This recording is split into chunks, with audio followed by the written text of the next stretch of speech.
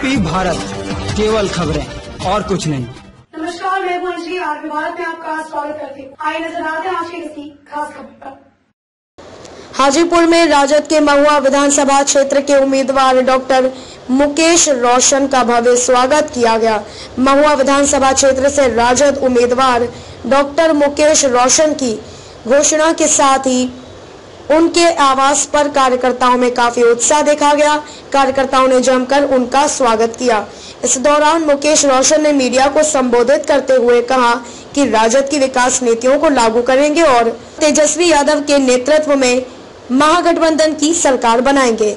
उन्होंने कहा कि जिस तरह से नीतीश कुमार ने पिछले पंद्रह सालों में बिहार को बर्बाद कर दिया है, जनता उन्हें जवाब देगी। श्री रोशन ने अपने एजेंडे को दोहराते हुए कहा चूँकि मैं एक डॉक्टर हूँ, जीत दर्ज करते ही सबसे पहले महुआ विधानसभा में मोहल्ला क्लिनिक बनाने का कार्य करेंगे और महुआ की सड़क शिक्षा व्यवस्था में सुधार करूँगा और लोगों के हित के लिए मैं हमेशा महुआ वासियों को सहयोग करूँगा। संवाददाता रविंद्र ठाकुर की रिपोर्ट।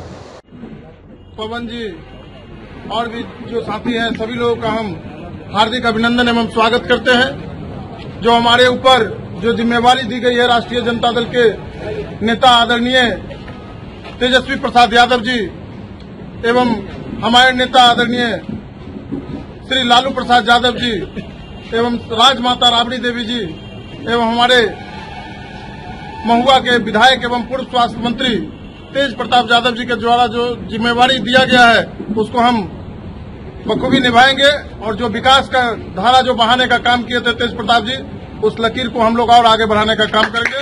इसी वादा के साथ हम लोगों ने कल आशीर्वाद लेकर राजमाता जी से और आगे बढ़ने का काम किया है। महुआ के विकास में चार चाँद लगाएँगे।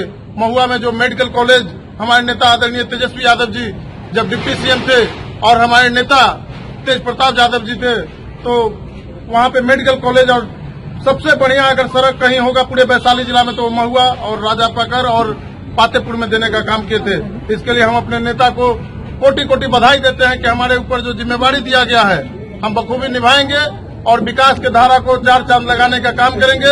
एक डॉक्टर होने के नाते महुआ में मोहल्ला क्लिनिक खोलने का काम करेंगे।